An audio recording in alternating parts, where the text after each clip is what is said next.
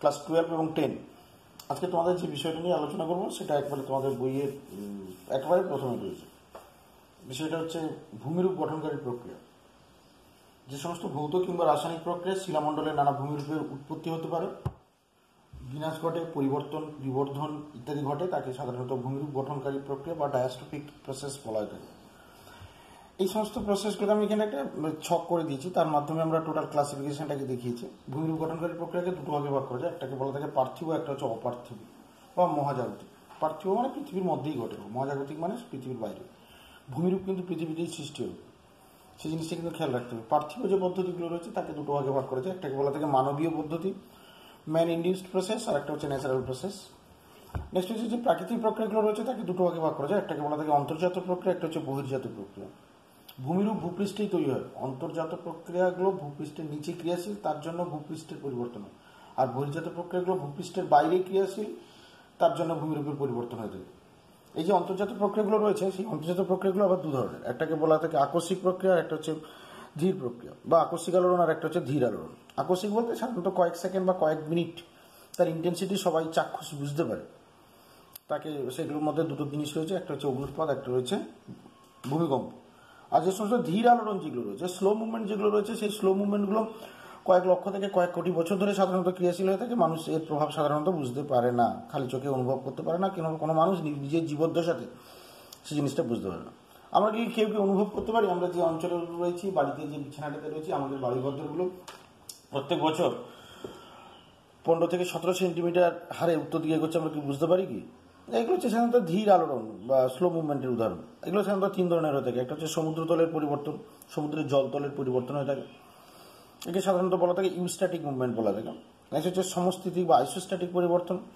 আমাদের এই ভূপৃষ্ঠস্থ সমস্ত বিষয়গুলো সাধারণত গুরুমণ্ডলের অ্যাস্ট্রোস্ফিয়ার যে রয়েছে না, সেই অ্যাস্ট্রোস্ফিয়ারের উপর ভাসমান অবস্থা রয়েছে। এই ভাসমান অবস্থাটা একটা ব্যালেন্স কন্ডিশনের থাকে। সেই ব্যালেন্সটা যদি ব্যালেন্সটাকে কি বলা থাকে না? আইসোস্ট্যাসি বা সমস্থিতি বলা থাকে। নেক্সট হচ্ছে ভূগাঠনিক বা টেকটনিক মুভমেন্ট ভূগাঠনিক বা টেকটনিক মুভমেন্ট এটা সাধারণত দু ধরনের। একটা হচ্ছে গিরিজনী আর একটা হচ্ছে মহিবাব কারণ।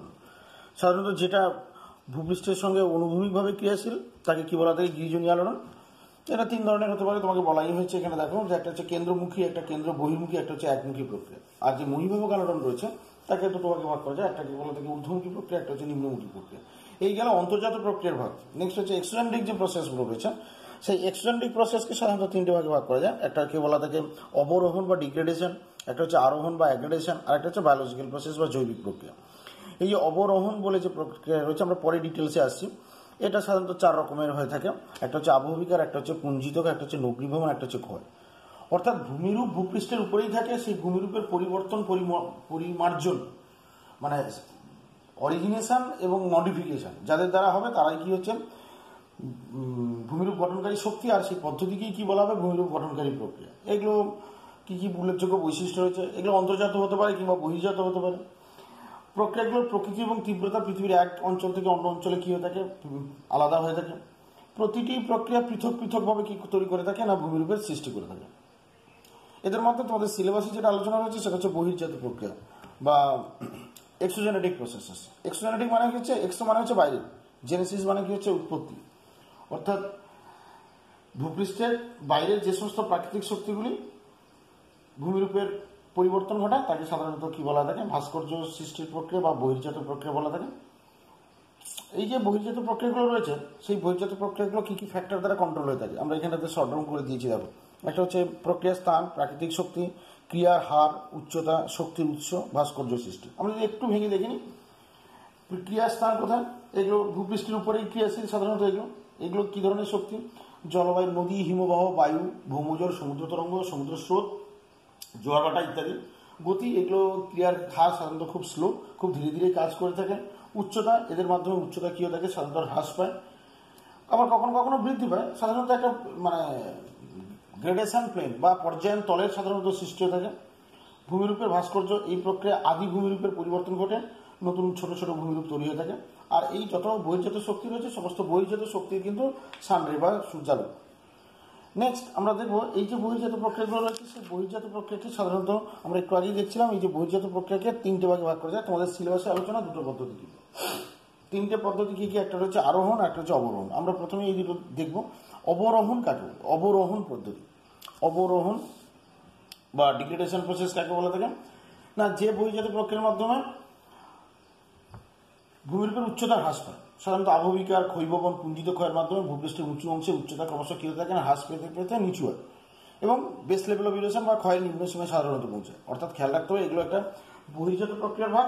বহির্জাত প্রক্রিয়া মানে ভূপৃষ্ঠের বাইরে কি ক্রিয়াশীল এবং এদের দ্বারা উচ্চতার কী হয়ে থাকে হ্রাস পায় এবং এর দ্বারা কী থাকে? না একটা গ্রেডেশন প্লেন তৈরি থাকে। এগুলো সাধারণত এই যে তিনটে মেন পদ্ধতি বলুন আবহবিকার আবহাওয়ার বিভিন্ন উপাদান দ্বারা ভূপৃষ্ঠস্থ শিলাসমূহের পরিবর্তন এবং সস্থানে অবস্থান। কি বললাম? খেয়াল করে দেখো। আবহাওয়ার বিভিন্ন উপাদান দ্বারা ভূপৃষ্ঠস্থ শিলাসমূহের পরিবর্তন, আকার আকৃতিগত পরিবর্তন হবে এবং উৎপন্ন শিলাখণ্ডগুলো ওখানেই থাকবে, তাহলে তাকে কি বলা হবে না? আবহবিকার বলা হবে। নেক্সট হচ্ছে পুঞ্জিত ওই আবহবিকারের ফলে যে শিলাখণ্ডগুলো তৈরি হলো, সেই শিলাখণ্ডগুলো যদি, সেই শিলাখণ্ডগুলো যদি মাধ্যাকর্ষণের টানে জলকে মাধ্যম করে যদি এক স্থান থেকে অন্য স্থানে স্থানান্তরিত হয়ে থাকে, তাহলে তাকে কি বলা থাকে না পুঞ্জিত ক্ষয় বলা আর ক্ষয়ভবন? না, ওই যে বহির্জাত প্রক্রিয়াগুলো বললাম, নদী, হিমবাহ, বায়ু, ভৌমজল, সমুদ্র তরঙ্গ জোয়ারভাটা ইত্যাদি, শক্তি এবং তার সাথে আবহাওয়ার বিভিন্ন উপাদান দ্বারা ভূপৃষ্ঠস্থ শিলাসমূহের ভৌত কিংবা রাসায়নিক পরিবর্তন এবং স্বস্থানে ছেড়ে অন্য জায়গাতে যাও তাহলে তাকে কি বলা হবে? ক্ষয় বা ক্ষয়ভবন বা ইরোশন বলা হবে। তাহলে গল্পটা কোথায় দাঁড়াল? আবহবিকার শুধু চূর্ণ বিচূর্ণ করার প্রক্রিয়া, পুঞ্জিত ক্ষয় বা পুঞ্জিত স্খলন বা মাস মুভমেন্ট হচ্ছে স্থানান্তরের প্রক্রিয়া, আর ক্ষয় কি হচ্ছে? না, দুটো পদ্ধতি একই মানে কম্বাইন ভাবে। একটা হচ্ছে ভেঙে ছোট ছোট খণ্ডে পরিণত হবে এবং সেই জিনিসগুলো কী হবে? না, স্থান পরিবর্তন করবে। এই তিনটে প্রক্রিয়ার কম্বিনেশনই হচ্ছে কেন? ডিগ্রেডেশন বা অবরোহণ প্রক্রিয়া। এর ফলে সাধারণত কী হয়ে থাকে? এই অবরোহণ প্রক্রিয়ার ফলে সাধারণত কী হয়ে থাকে? না, ভূমির উত্তর এবং অবতল ঢাল সৃষ্টি হয়ে থাকে। ঢালের পশ্চাদ পশ্চাদপসরণ ঘটে। বিভিন্ন রকম ভূমির উপর উচ্চতা কী থাকে হ্রাস পেয়ে থাকে পার্বত্য মালভূমি অঞ্চল ক্রমশ কিছু পরিণত হতে থাকে না, সমভূমিতে পরিণত হতে থাকে। নেক্সট হচ্ছে আরোহণ প্রক্রিয়া বা ডি অ্যাগ্রেডেশন প্রসেস মনে রাখা যদি গুলিয়ে যায় মনে রাখার সুবিধার জন্য একটা ক্লু রাখতে পারো, সেটা হচ্ছে আরোহণ। আরোহণ মানে উপরের দিকে ওঠা। মানে ভূমির উচ্চতা কী হয়ে থাকে না, বৃদ্ধি হয়ে থাকে। তাহলে যে বহির্জাত প্রক্রিয়ায় প্রক্রিয়ায় অবরোহণ পদ্ধতিতে উৎপন্ন পদার্থগুলো প্রাকৃতিক শক্তি দ্বারা ভূপৃষ্ঠের নিচু স্থানে সঞ্চিত হবে এবং সঞ্চিত হওয়ার দরুন ওই অঞ্চলে উচ্চতা বৃদ্ধি পাবে, তাকে কি বলা হবে না আরোহণ প্রক্রিয়া। ব্যাপারটা কি দাঁড়াল? অবরোহণ প্রক্রিয়ায় যে শিলাখণ্ডগুলো বা শিলাচূর্ণগুলো তৈরি হয়েছিল, সেগুলো কোনো না কোনো একটা জায়গাতে সঞ্চিত হবে এবং ভূমিপের উচ্চতা, ভূপৃষ্ঠের উচ্চতা কি হবে না বৃদ্ধি পাবে? তাহলে তাকে কি বলা হবে? আরোহণ প্রক্রিয়া। এর সাহায্যে ভূমি ঢাল হ্রাস পায়। এর সাহায্যে কি থাকে উচ্চতা বৃদ্ধি পায়। নিম্নভূমি ভরাট হয়ে সমভূমি তৈরি করে। বিভিন্ন প্রকার সঞ্চয়ত ভূমির উপরে তৈরি হয়ে থাকে। আমরা এখানে একটা পার্থক্য তোমার পার্থক্য লেখার জন্য এখানে একটা আমরা সিস্টেম করে দিয়েছি বা একটা টি করে পয়েন্টগুলো করে দিয়েছি, সংখ্যা নিশ্চয়ই পারবে উচ্চতার পরিবর্তন আরোহণের জন্য উচ্চতা হ্রাস পায়, এটা যেন উচ্চতা বৃদ্ধি পায়। কাজ, এটার ক্ষেত্রে সাধারণত ক্ষয় হয়ে থাকে বা চূর্ণ বিচূর্ণ হয়ে থাকে, আর এটার দ্বারা কী হয়ে থাকে? ওই অবরোহণ প্রক্রিয়াতে অবরোহণ প্রক্রিয়াতে কী হয়ে থাকে না? চূর্ণ বিচূর্ণ হয়ে থাকে, আর আরোহণ প্রক্রিয়াতে সাধারণত কী হয়ে থাকে? উচ্চতা বৃদ্ধি পায়। নেক্সট যেটা রয়েছে, নিয়ন্ত্রক। নিয়ন্ত্রক, এই যে অবর আরোহণ প্রক্রিয়া রয়েছে, আরোহণ প্রক্রিয়া নিয়ন্ত্রক কী রয়েছে? নদী, হিমবাহ সমুদ্র, তরঙ্গ ভৌমজল ইত্যাদি। অবরোহণ কী রয়েছে? আবহবিকার, পুঞ্জিত ক্ষয় এবং ক্ষয়ীভবন। প্রক্রিয়াসমূহ প্রক্রিয়াসমূহ এটার ক্ষেত্রে, আরোহণের ক্ষেত্রে সাধারণত সঞ্চয়ের প্রক্রিয়া সঞ্চয়ের প্রক্রিয়া দু ধরনের সাধারণত থাকে। একটা হচ্ছে অ্যাজ পার সাইজ অনুযায়ী সঞ্চয় হবে, আর সব পদার্থ একসঙ্গে কী হবে না, সঞ্চিত হবে। অবরোহণ প্রক্রিয়াতে কী হবে? আবহবিকার, পুঞ্জিত ক্ষয় এবং ক্ষয়ীভবন। ফলাফল, আরোহণের ফলে কী হয়ে থাকে? ভূমির উচ্চতা বৃদ্ধি পেয়ে থাকে, অবরোহণের ফলে উচ্চতা কী হয়ে থাকে? না, হ্রাস পেয়ে থাকে। নেক্সট এই চ্যাপ্টারে যেটা সবচেয়ে গুরুত্বপূর্ণ প্রশ্ন, পরীক্ষাতে সবচেয়ে বেশিবার আসে, সেটা হচ্ছে কি গ্রেডেশন বা পর্যায় বা গ্রেডেশনাল প্রসেস বা পর্যায়ন প্রক্রিয়া। ভূবিজ্ঞানী জে কে গিলবার্ট সর্বপ্রথম এই টার্মটা ব্যবহার করেছিলেন অর্থাৎ বহিজাত প্রক্রিয়াতে কি হলো? বহিজাত প্রক্রিয়ার মধ্যে মেন দুটো জিনিস কি? একটা আরোহণ একটা হচ্ছে অবরোহণ। একটা দ্বারা উচ্চতা হ্রাস পায় একটা দ্বারা উচ্চতা কি থাকে? বৃদ্ধি পায়। তাহলে বলা হচ্ছে যে বহির্জাত প্রক্রিয়াতে ক্ষয় এবং সঞ্চয় কার্যের মাধ্যমে ভূত্বকের উপরিভাগের উচ্চতার পরিবর্তন ঘটে এবং বিভিন্ন উচ্চতাযুক্ত ভূমিরূপ ক্রমশ সমতানে একটি সাধারণ তলের সৃষ্টি করে। তাকে কি বলা? থাকে গ্রেডেশন মানে ব্যাপারটা কি দাঁড়াবে আরোহণের দ্বারা উচ্চতা বৃদ্ধি পাবে, অবরোহণের দ্বারা উচ্চতা হ্রাস পাবে। এই প্রসেস দুটো কন্টিনিউয়াসভাবে রান করার জন্য কোনো একটা জায়গাতে আলটিমেটলি যে জিনিসটা হবে, না উচ্চতা কী হতে থাকবে? উচ্চতা হ্রাস পাবে এবং আপেক্ষিক বন্ধুরতা যেটা ছিল, উঁচু নিচুর মধ্যে যে পার্থক্য যেটা ছিল, সেই পার্থক্যটা ক্রমশ কী হতে থাকবে হ্রাস পেতে থাকবে। হ্রাস পেয়ে একটা সমতল অংশের কী হতে থাকবে না, সৃষ্টি হবে। সেটাকে সাধারণত সেই পদ্ধতিকেই কি বলা থাকে গ্রেডেশন আর যাদের দ্বারা ঘটে, সেটা হচ্ছে কিনা গ্রেডেশনাল প্রসেস তার মানে গ্রেডেশনাল প্রসেসের মধ্যে কী কী রয়েছে, আরোহণ এবং অবরোহণ রয়েছে। আমি এখানেতে কতগুলো এর উল্লেখযোগ্য বৈশিষ্ট্য তোমার টিকা লেখার মতো করে লিখে দিয়েছি। এটি আরোহণ এবং অবরোহণের সমষ্টি, এর দ্বারা ভূমির বন্ধুরতা কী হয়ে থাকে, হ্রাস পায়। এটি সাধারণ তল বা সমভূমি সৃষ্টি থাকে, পর্যায়িত ভূমিরূপ সৃষ্টি হয়। অর্থাৎ গ্রেডেশনের দ্বারা যে ভূমিরূপ তৈরি হয়ে থাকে, তাকে সাধারণত গ্রেডেশনাল ল্যান্ডফর্ম বলা হয়ে থাকে। ভূমিরূপ মধ্যস্থ স্থিতিশক্তির হ্রাস ঘটে। অর্থাৎ ভূমিরূপের উচ্চতা বৃদ্ধি পাওয়া মানে ওর মধ্যে প্রচুর পরিমাণে পোটেন্সিয়াল এনার্জি স্থিতিশক্তি কী হতে থাকে, সঞ্চিত হতে থাকে। উচ্চতা হ্রাস পাওয়া মানেই কি হচ্ছে?